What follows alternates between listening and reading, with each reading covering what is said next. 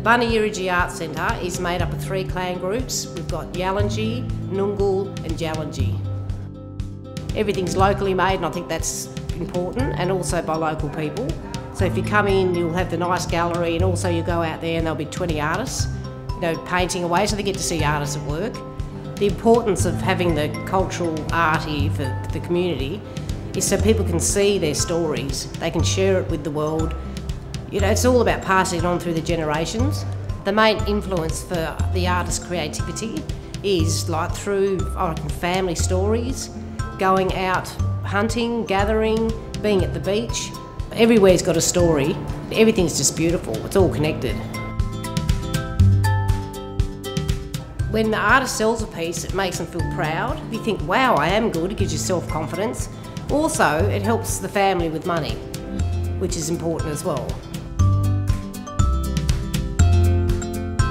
They're beautiful people. Look at the beach, the rainforest, the water, the mountains, the quietness. It's just, oh, it's home, it's beautiful, I'll never leave.